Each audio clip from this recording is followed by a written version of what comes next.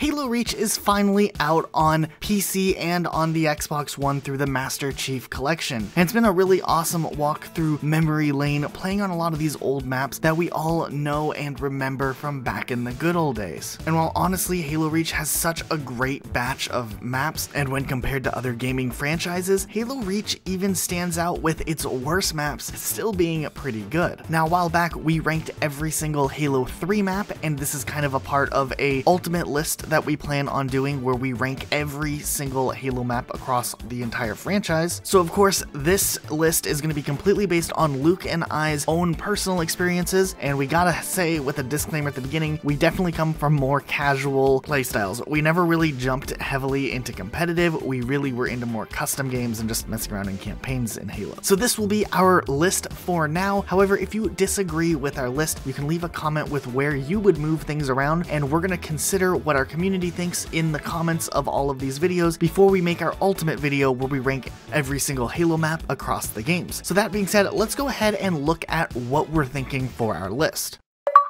Starting things off at the bottom of our list, it's really hard to pick one level that we think is the absolute worst when it comes down to Halo Reach. Like we said, the worst maps are still pretty good, but something has to get put down here, and honestly, we went ahead and picked Condemned for this. It was part of the Noble DLC, and honestly, while this map works okay, there's just nothing special enough about it or iconic enough about it that maybe wants us to really think highly of this level in any other way. It plays okay, and there's this middle room that's kind of interesting with the light gravity, but other levels did the different types of gravity better than this one, so we're gonna go ahead and put it down here. Next on our list, we're gonna go ahead and put Zealot down here, and while we are fans of the levels Midship and Heretic, and this level obviously draws inspiration from it, it definitely doesn't feel like an exact remake, and it's not really a remake as it's much more spread out, and things are a lot bigger, making things just seem a little bit out of place from the arena type core gameplay that we were more used to when Halo Reach came around. We do really like the tubes that take you up to the upper levels, the zero gravity stuff's cool, and this level is still fun for a lot of game types, but it's definitely not necessarily as iconic as the versions in previous Halo games. Next on our list, going up to rank 18, we're gonna go ahead and put Solitary here. This is part of the Halo Anniversary Pack. This map is a remake of an iconic Halo 1 level, and honestly, aesthetically speaking, the level's really great. However, we're just not really fans of these levels that just have so many floors going up to the top without having necessarily the best sight lines like we see in other Halo levels that at least try to take on this concept. This one worked well in the original Halo, and actually remakes of this level in other Halo games like Halo 5 worked pretty well here, but for Halo Reach, it just didn't really resonate with us the way that we hoped it would. Next, we're gonna go ahead and put the level Breakpoint on our list. Honestly, Breakpoint had a lot of potential when Bungie announced it to release it because it was another invasion map, and I was so excited because I was a huge fan of Invasion. However, for some reason, this level just lacks the same energy that the other main Invasion maps had, and the flow of this one just seems really off. The fact that you have to carry a bomb in the second phase to blow up a wall really seems to disrupt gameplay, and it's just not the favorable Invasion choice. Coming back to this map and playing it in the MCC, it's pretty much exactly as underwhelming as I remember it being way back in the day. Next, we're gonna go ahead and put Ridgeline on this list. Now, Ridgeline on its own is a very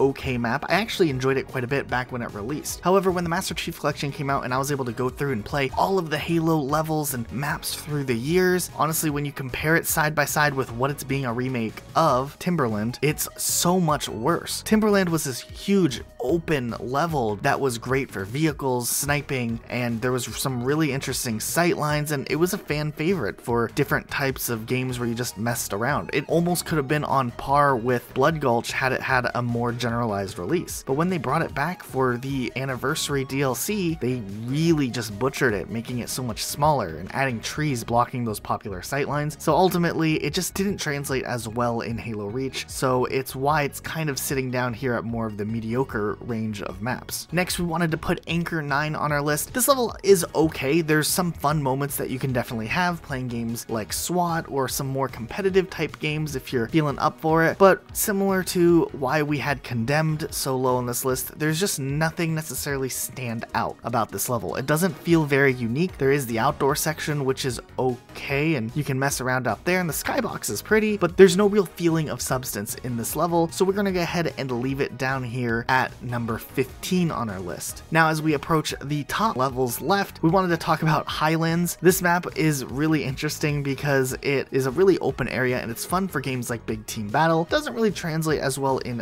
smaller types of games, and for some reason the skybox is really dumb. I'm like, there's a bunch of reds and blues trying to fight each other at this base, while the planet just right over there is getting completely glassed. I always thought this was a really weird concept. Next, we wanted to look at Tempest, and this was actually a map I really didn't like originally when it came out. However, this one's really grown on me, especially since it being included in regular rotation in the Master Chief Collection. It honestly just plays really, really well with Reach for some reason, and we played a game of Infection that honestly kind of reignited my love for Infection just because of this one level alone. So we had to put it up a little bit higher than we originally planned, and Tempest is a pretty good remake. Next, we wanted to do Powerhouse, and this map is kind of iconic because I remember playing this map way back in the beta days of Halo Reach. This was my first ever Reach experience when that beta dropped with my ODST disc. I don't think it's one of the best maps for games like Slayer or other main type competitive maps. I'm not too sure what the competitive community feels. However, I remember playing games like Headhunter on this map, and it just makes me really miss that game type, and it was a lot of fun back then, and I think it's a good map still. And the next map is Penance, and if you're wondering why you're hearing my voice now, it's because Elijah forgot to record this map, and so I'm just gonna talk about it real quick. It's another Halo CE Anniversary Map Pack map, and the remake of the classic Halo CE map Damnation. And while this map might be equally high as Solitary, since there's only like two levels essentially, it actually works really well here. So there's no in-between layers or anything, there's just the top layer and the bottom layer, and it's really fun on Infection 2. And I just like to play this map personally too, so we're just gonna put it right here. Now, in this next one, Luke and I debated a lot about how this map can be in the top 10 maps, while Solitary is all the way down where it is. However, the map Sword Base is a pretty cool level, and we really like this map. It honestly broke away from the typical arena style that Halo was popular for, but while we've criticized Halo Reach for breaking away from that style, it's done well enough here where it actually works in its own way. It does this longer type setup where you have really great sightlines across the rooms, so even as you raise higher up in the sword base and you take the stairs going to higher levels, there's always ways that you can run flanks and you can shoot across. So ultimately, sword base has been a pretty fun experience. Next on our list, we wanted to look at High Noon, and honestly, there's a lot of criticism about the Hang 'em High and all of its remakes that have come out over the years, and of course the debate whether or not Longshore counts as a real Hang 'em High inspired remake or not. However, if we're gonna just look at the true to form remakes, we do think this is the best version of this map that we have seen. The skybox is really nice, and it can be really fun for some type of long range, and since there's so many arena maps that have kind of been mixed in, especially after the DLC released, High Noon works out well because it's something different and much more range than anything else that Reach has to offer, making it make sense why this map is included. Next on our list, we wanted to include the level Reflection, coming in at number 8 on our list. Now, Reflection is actually a remake of a popular map in Halo 2 called Ivory Tower. However, while Ivory Tower was really just an okay map back in Halo 2, it's really interesting how they brought this map back for Halo Reach. They completely redesigned it while keeping the core layout the same, and this map just works really well with the Reach mechanics. The movement system seems to almost be built around this level, and it's funny to think that this level existed so many years ago in Halo 2. Honestly, I think there's a lot of people who can get behind Reflection and just like this level a lot. Next on our list, we have Countdown, and this is a level that a lot of people might be more decisive on just because this level's kind of hated by some people and loved by others. But honestly, I remember playing this level so many times back in the day, and it kind of in the earlier days of Reach's run was one of the main levels you would play on when playing multiplayer that wasn't on Forge World. It definitely had this new feeling to it because aesthetically speaking, it wasn't necessarily something very commonplace for Halo to have structures that looked like this, and it worked out pretty well. And ultimately,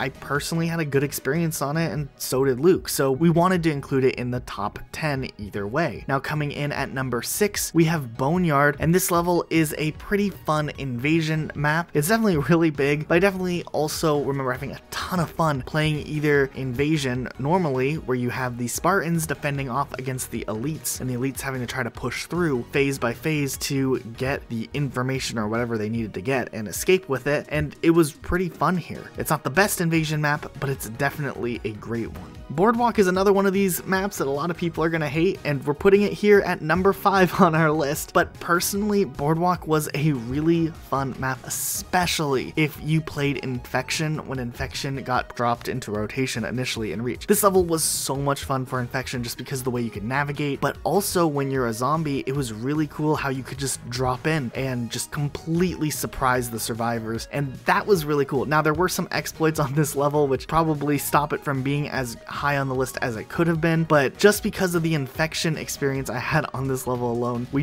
definitely really liked Boardwalk and think it deserves to be up here. Number four is Breakneck, which is a remake of the popular Halo 2 level, and honestly, Breakneck is just fun to play on. You can jump in, jump in some warthogs, or just run around on foot and get up to a high level to try to shoot across at other people. It's very chaotic at times, and it definitely doesn't play like any other Halo Reach map. It feels like the classic Halo 2 experience, and it's really cool that, for once, while Halo Reach had so many different mechanics, this map actually plays more similarly to how it originally was intended to play back in Halo 2, even if you're playing on Reach. And that's something really unique, especially because this map also has an amazing touch up from what it looked like back in the day, and because of that, we couldn't help but to put this one in at number 4 on our list. But now we're getting into top 3 territory, so we gotta really pick now which maps we thought were the best of the best. On number 3, we're gonna put Battle Canyon. We were huge fans of Beaver Creek back in the day, or Battle Creek, whatever you called it, depending on which Halo you were playing. And this map is kind of one of those maps that should have probably been included in every Halo release. And since it was finally included in Reach, after it not being in Halo 3 or in the base game of Halo Reach, it was a welcome addition. And what's even cooler is they actually fixed something that was kind of an issue back in the day, where they moved the teleporters into a back room, and it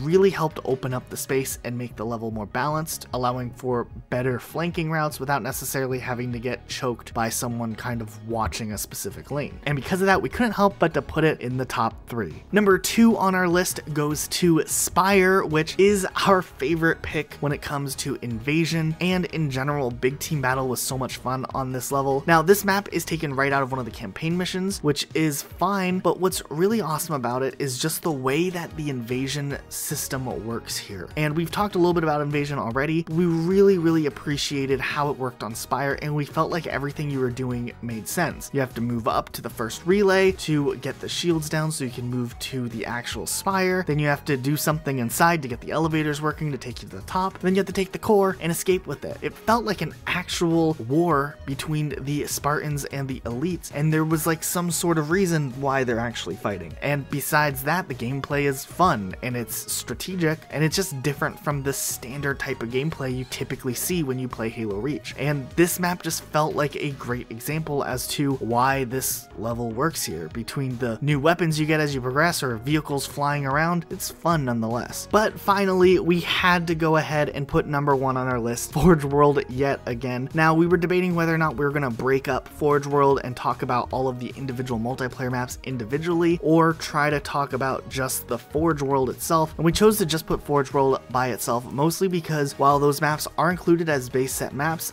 they're forge objects and they're movable, editable, and whatnot. Now, one thing that was awesome is when Halo Reach released, they did include a couple of base set forge maps, especially the ones that were based off of classic Halo levels that people knew and loved from the arena days of Halo 2, and it was really cool to see how they translated that. But it also paved the way for a forge community to be able to make any map, and there were so many other maps that were later brought back through fan creations of previous Halo maps that didn't quite make the cut into this game. It was a cool way to kind of keep the legacy of older maps alive through Halo Reach and showcased what Forge had to offer. Now, Forge World goes so much further than just recreating old maps. People created new maps. Then there was the whole custom game thing, which was so important to players like Luke and I who were more casual. And we finally got our Blood Gulch back. It was so nice to finally see it. And while it is different, you're not in the canyon anymore, you still get the same experience and vibes. And it was such a great addition to choose the layout of Blood Gulch as one of the major areas of Forge World. And it's just so cool. This level is so awesome. We really hope they bring this one back in Halo Infinite. Just imagine how awesome Halo Infinite would be. No matter how bad Infinite could get and how many bad reviews it could get, we could always be like, well, at least it has Forge World. And that's why Forge World needs to be in Halo Infinite. But like we said, this is just our opinion. This was kind of our first main discussion. We are already making adjustments to our lists from the Halo 3 video based off of the comment feedback we got. We had some really great feedback. So make sure you guys let us know what you would suggest changing, moving around. Are we completely off on a couple of maps? We're open for reasons why and whatnot. So leave a comment down below. We would really appreciate it. You can even hit the like button if you see a comment that you agree with if you don't want to type your whole thing out. But that's it for today, guys. Thanks for watching, and we'll see you guys all next time with a brand new video. Bye, guys.